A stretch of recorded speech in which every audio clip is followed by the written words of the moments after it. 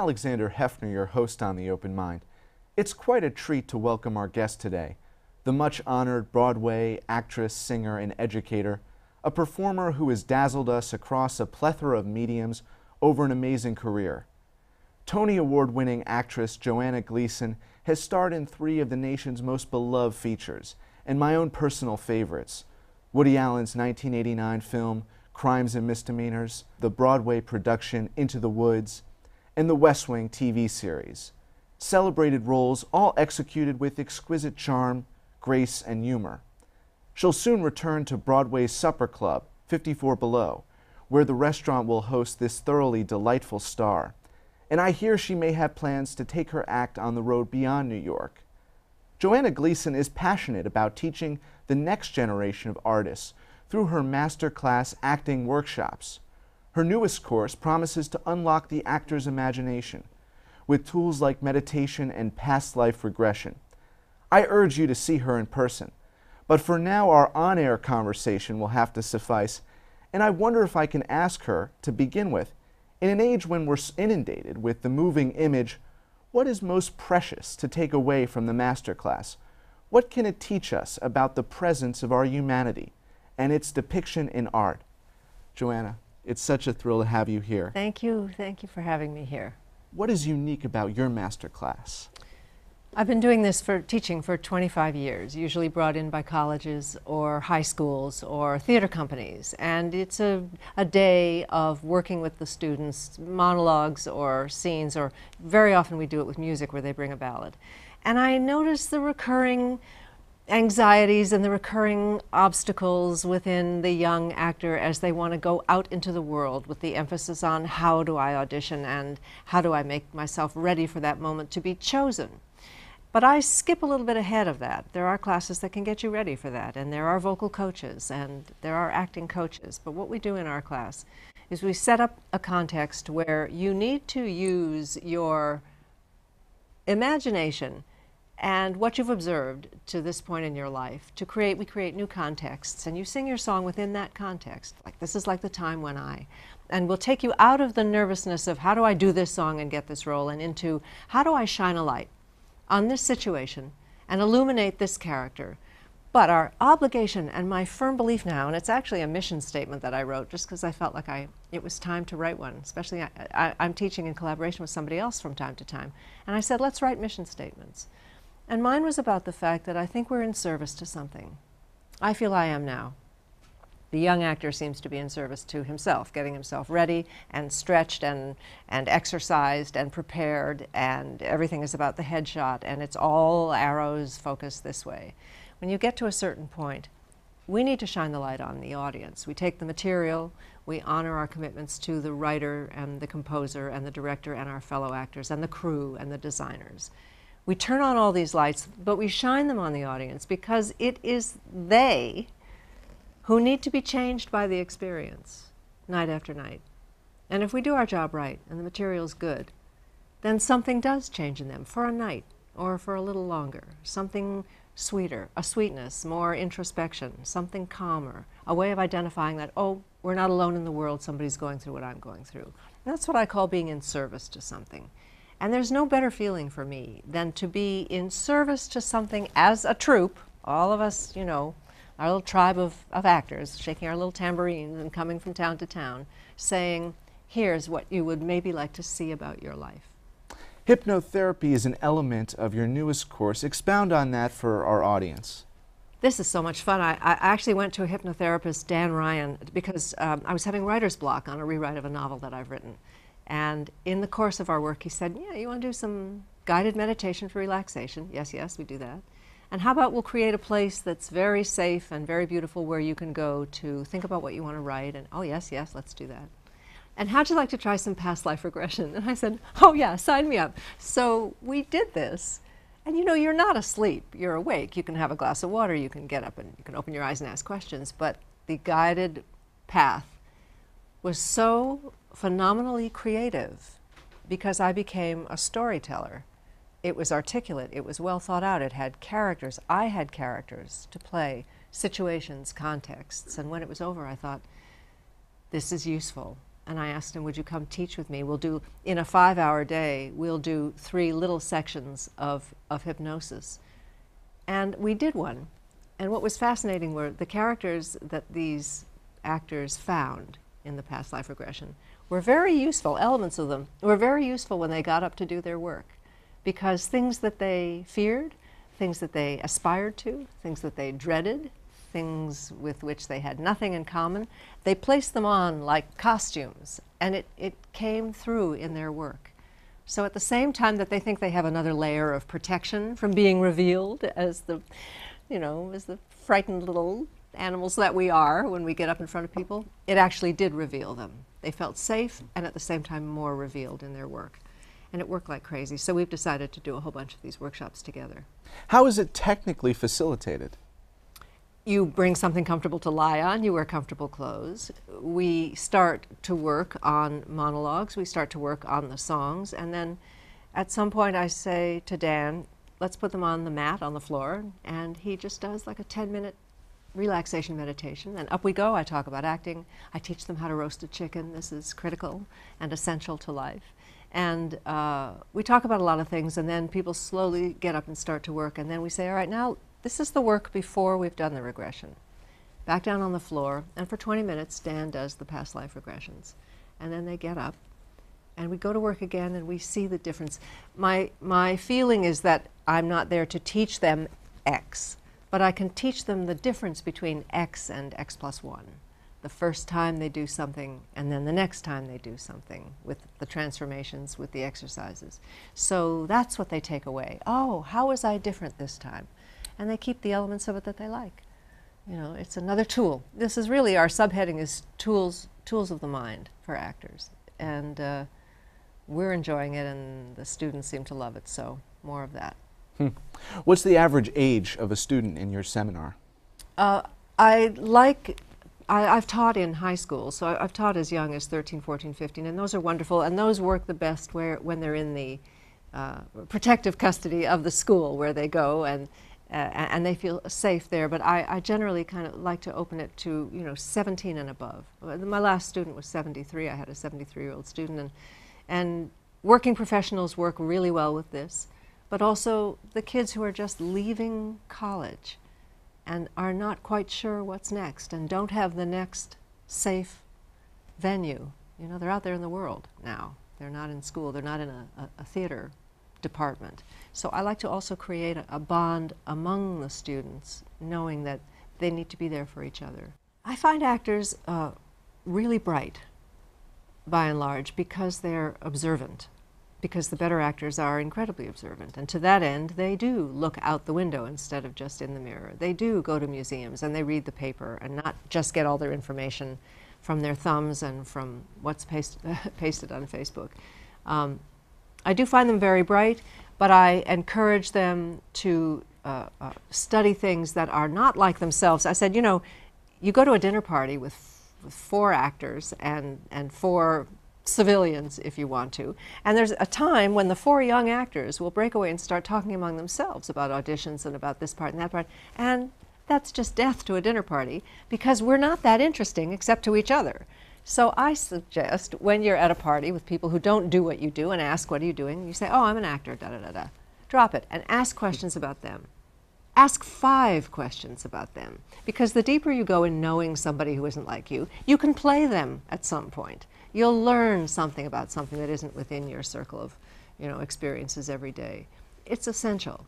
And that's kind of the fact-finding mission of humanity in that process. Now, the fact-finding mission of humanity, which we've made an elective instead of a, a you know, a core course, mandatory course, it, it's elective to learn about someone else because we are very me-centric. And it's hard, we're losing empathy we're losing the ability to relate to one another, to see each other as human beings. This is a worldwide problem. It's not just epidemic in the, in the arts. But the, the thing about artists is, I, I believe true artists are born speaking a different language from the one that is spoken in the house they grow up in, unless your family is a family of artists.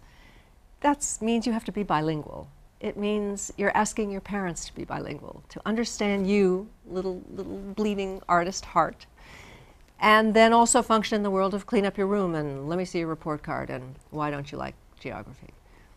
So, to that end, a kind of tolerance that we as actors have to have for the people who are raising us, a kindness, even though we're adolescents and rebelling, and then asking from your parents to understand that maybe your children are speaking a different language from time to time. The need to hear a kind of music, express themselves through music, rap, dance, ballet, tap, ice skating, painting, whatever it is. Keep an eye out for that, for the language you don't quite understand, and then try to get a translator for your kid. Uh, it's important to me that communication lines be open. I was going to ask you what has evolved the most in terms of the character, performance, and theater and acting in this country since you began over, over the course over the course of an illustrious career. Before things were written down, right. before it was only on drums and carved on stone things, all the way back there. Not too long ago. Not too long ago. Well, uh, things have evolved, and I don't want to say, I don't want implicit in the word evolution, I, I don't want it to imply that always for the better. Right.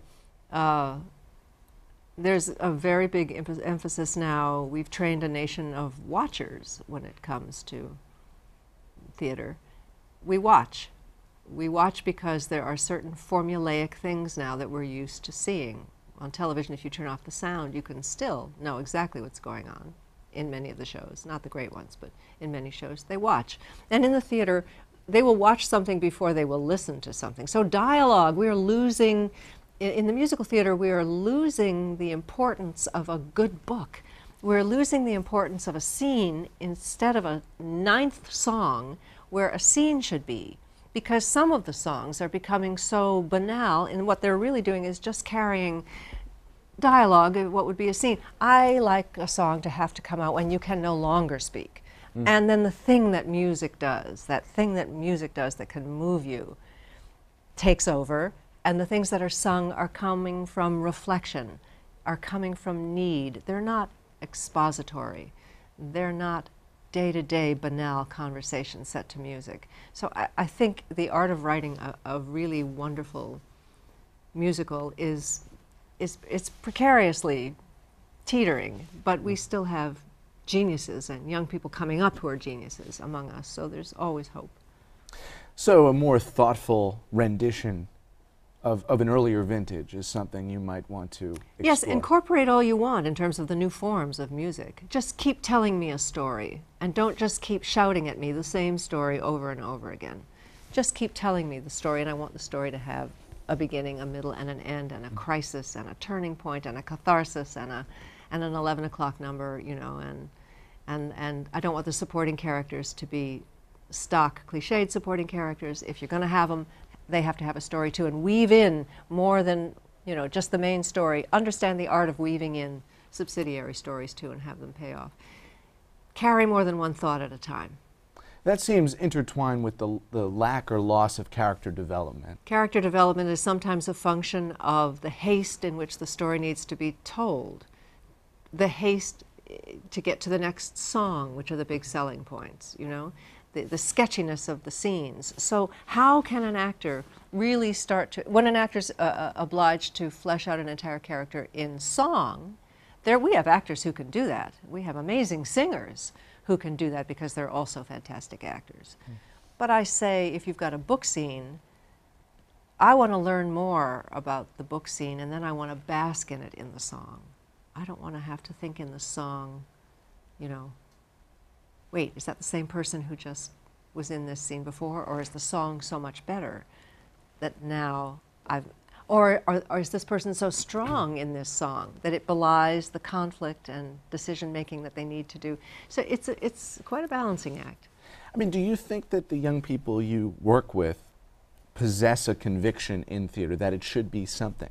Because you have that a very pristine an, an, an elaborate understanding of that. Do they share, share what you're espousing today? What I'm seeing in young people is, um, the, well, first of all, the conviction that this is the venue they have chosen in order to express themselves in life. This is the place they want to be. What you're oh, honorable. It's how I started too, and it was the home I needed to find. And uh, And there was no better place to both assimilate and stand out, especially if you felt like an oddball, which I did. We'd moved so many times. So here with the theater department, so yes, I can play an 87-year-old mad woman from Chaillot, you know, and yes, I'm I'm Katisha the Mikado, of course, the unattractive outsider, you know, the, the ugly one. And I thought, great, I can exorcise all these things, and it's for me, it's for me, it's for me, it's for me. It's my therapy. And I think a lot of young people start that way.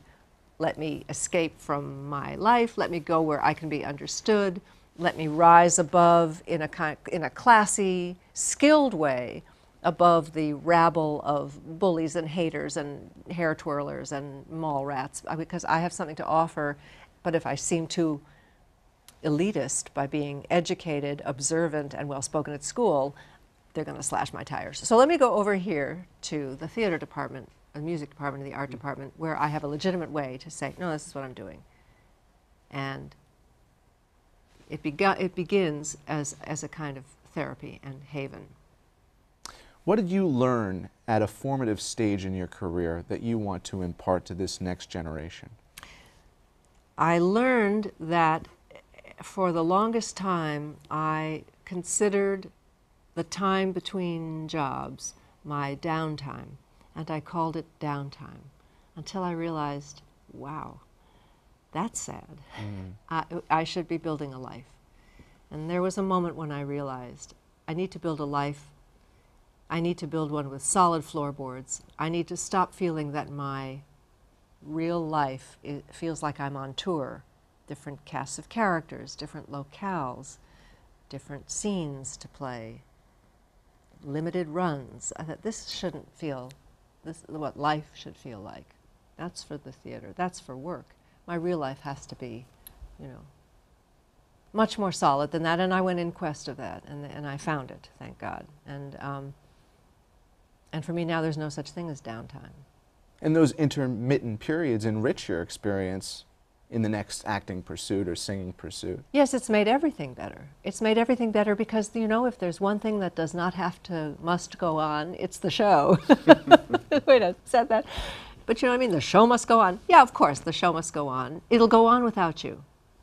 Hmm. That's why it goes on. It's not that you have to be the one that has to must have it go on. It will go on without you. And there's so many kinds of shows one could perform in today. Oh, yeah. There's a huge range of stuff.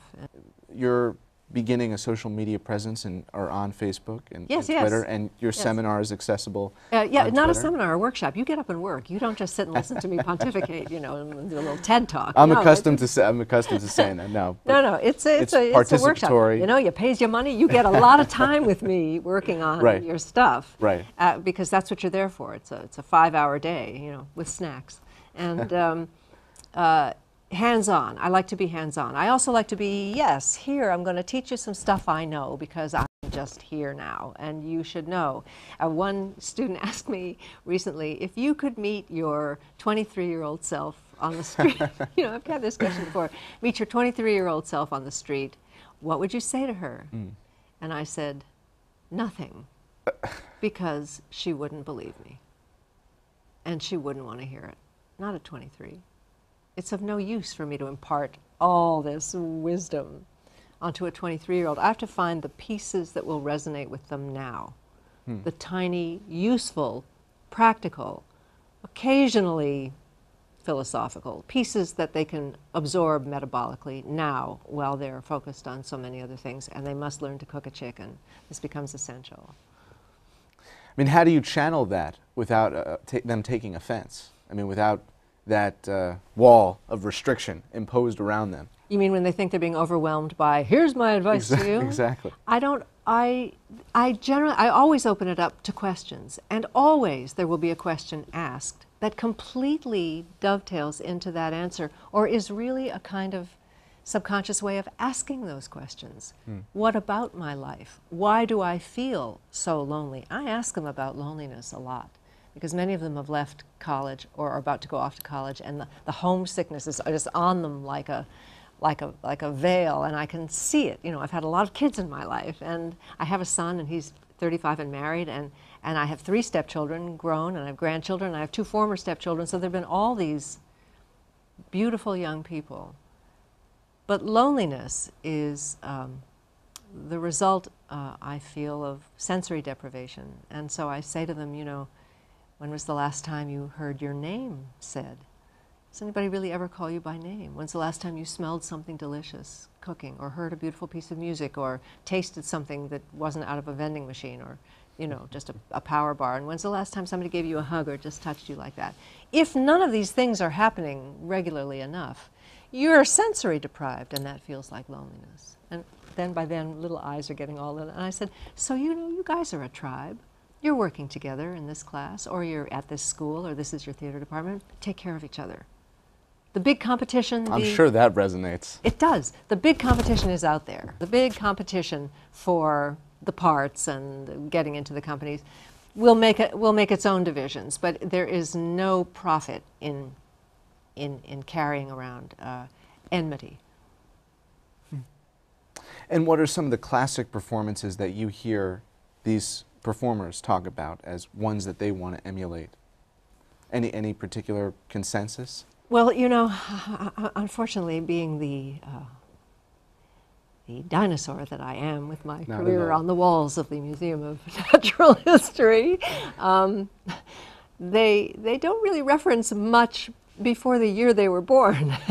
this is a little this is a little disconcerting to me. Uh, my my uh, my response to that is not to know any songs past like 1994. so when they bring in stuff, I say, "What's that from?" Just just to be ornery and not keep up with things.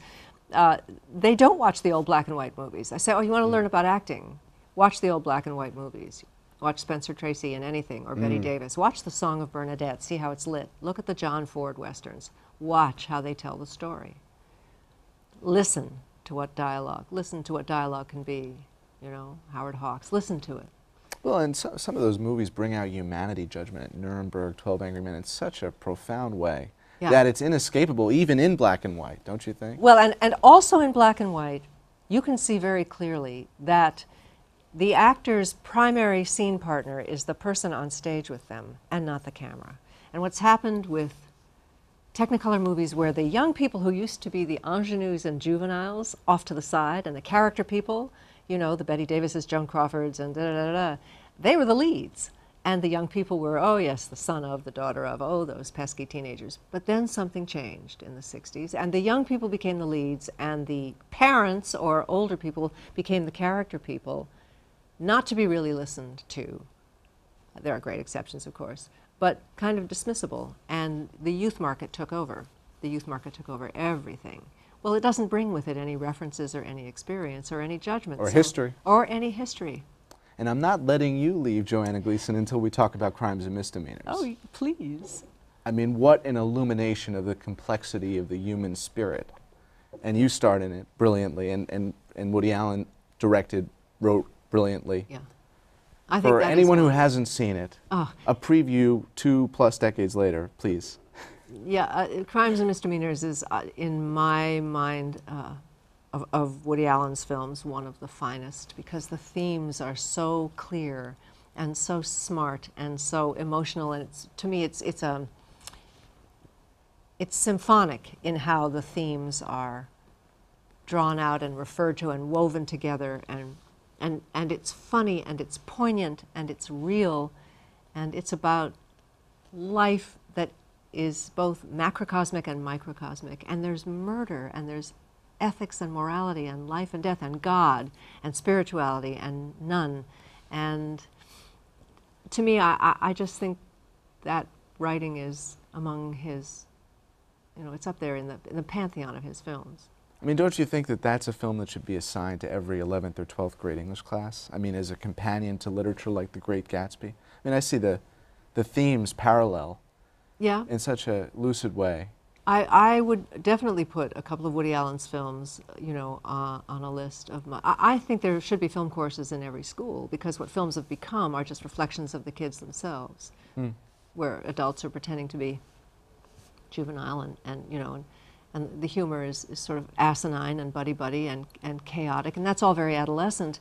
But they're living that. They have that, and they're living that. And, you know, what they're not seeing is how to make that instant decision to be a man, that instant decision to stop being a girl and be a woman. They're not that interested, though, in being men and women yet, and it's going on longer and longer and longer.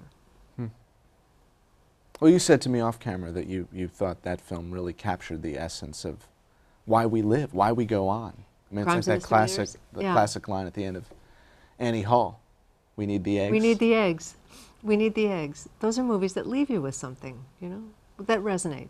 And they're not over when they're over, not for me. And I go back and watch them over and over again.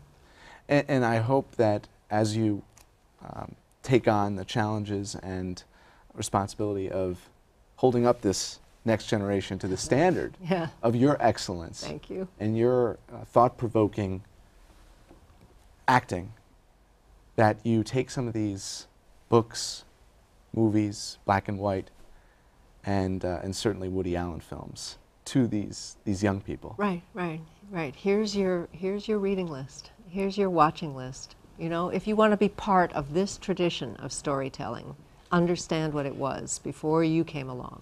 This was a real joy. For me too. Thank Joanna you. Gleason, thank you so much. My pleasure. And thanks to you in the audience. I hope you join us again next time for a thoughtful excursion into the world of ideas. Until then, keep an open mind. Please visit the Open Mind website at 13.org/openmind to view this program online or to access over 1500 other Open Mind interviews. And check us out on Twitter and Facebook at Open Mind TV for updates on future programming.